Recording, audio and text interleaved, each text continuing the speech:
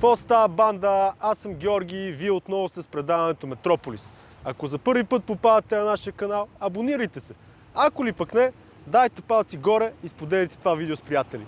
И понеже всички в България се оплакват колко е зле положението, днес ще ви покажем един град, който има лошата слава на най-зле економическия в цяла Англия. Намираме се в Харлоу Таун, който е разположен в югозападната част на областта Есекс, близост до Лондон.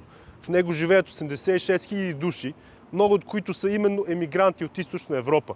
Българи, румънци, поляци и така нататък. Въпреки това, всички те бачкат здраво и плащат данъците си редовно, докато много местни британци разчитат на помощи от държавата и са безработни. Здрасти хора, аз съм Михаел. Не забравяйте също така да се абонирате и за фейсбук страницата ни Георги и Михаел. Днес се намираме в Харлоу, който е един от, както Георги каза, най-зле економическите градове в Англия. След Втората световна война много хора остават без домове и именно Харлоу е построен точно поради тази причина, за да им осигури убежище и покрив над главата.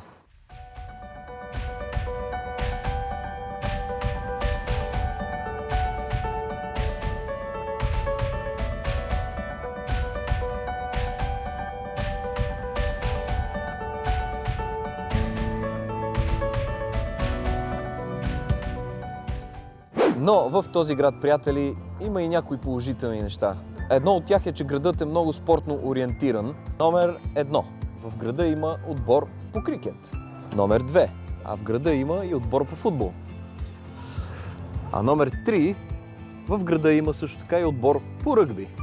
Номер 4. В града също така съществуват и надбягвания с кучета по рода хрътки, които си имат собствен стадион за надбягвания и можете и да залагате.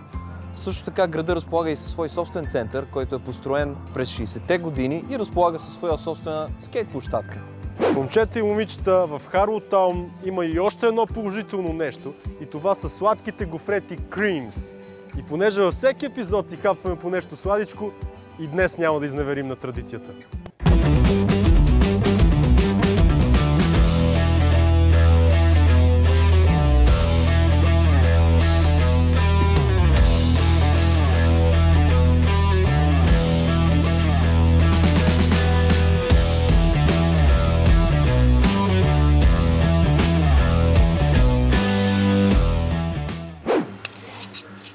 Приятели, гофретата ми дойде.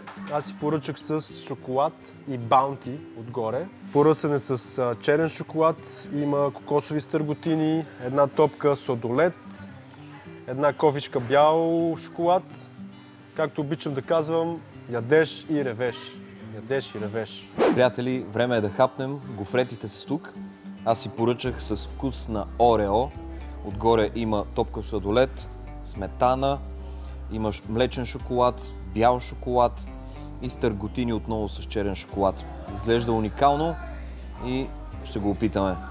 А нали знаете, няма как да минем и без интересни факти. Номер едно е, че гофретите произлизат през 14 век от Белгия и Франция, като самата дума waffles, гофрети, е с датски происход. Номер 2. The Waffle House е ресторант в Штатите, който продава по 145 гофрети на минута. Минута. Като от отварянето си до сега ресторантът е продал 877 милиона гофрети. И номер 3. Най-голямата гофрета в света е 2 метра и половина. Представяте ли си? Това е... Не знам колко хора трябва да го изядат. А също така съществуват и два национални празника на гофретата. Номер 4. Американският президент Томас Джеферсън е първият човек, който внася специалния уред, с който се правят гофретите, от Европа към Съединените щати. Номер 5. Съществува рекорд за най-много изядени гофрети за една минута. Бройката е 29. Да, чухте добре. 29. 6. Остатъчният продукт, с който се правят гофретите, служи и за направата на сладоледени фунийки. Е, аз тук имам една топка сладолед, но нямам фунийка. Нищо, се задоволиме с гофретите.